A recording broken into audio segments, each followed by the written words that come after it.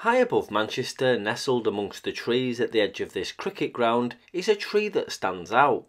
It never grows, it never sheds its leaves, and it can't die, because it's not really a tree. Now, we've covered these disguised transmitter sites before, and they're nothing secret. They were put up in a time when mobile phone transmitters and the masts that supported them were a bit taboo. There were those concerned about them spoiling the rural landscape, and those fearing that this new digital mobile phone infrastructure caused cancer.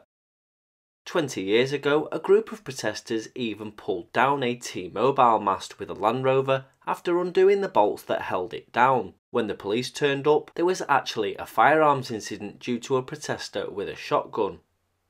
During the growth of the Orange mobile phone network, it began targeting populated areas rather than roads, so their aggressive growth strategy meant that new masts were closer to homes and buildings.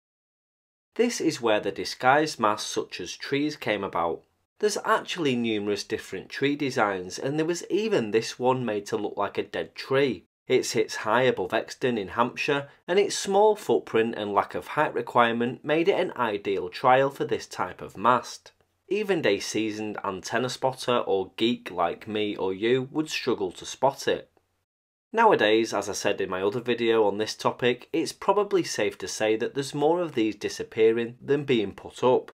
Mobile phone architecture is common in today's urban, suburban and even rural landscape.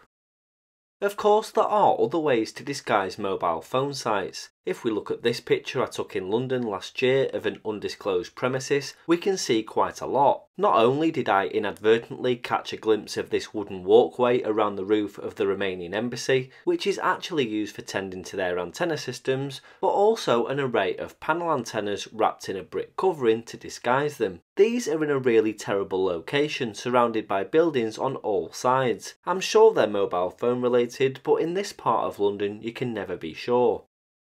Anyway, this tree mast sits in the town of Hyde, and most people probably don't notice that it's a fake tree, and the ones that do probably don't care.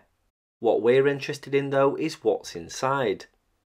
There's a compound surrounding it which houses all the transmitter cabinets and supporting equipment, and there's even a GPS antenna for timing. But is there anything inside the trunk? If we cut it down, I strongly doubt we'd be able to count the rings. The branches slide into these tubes welded to the side of the tower and bolt into place. The tree is assembled in sections, but I wanted to show you what's inside.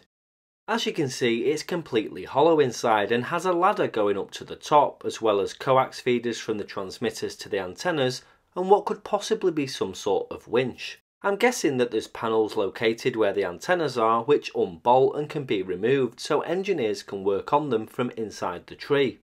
It's probably much easier than trying to get to the equipment the mast is supporting from the outside due to all of the branches.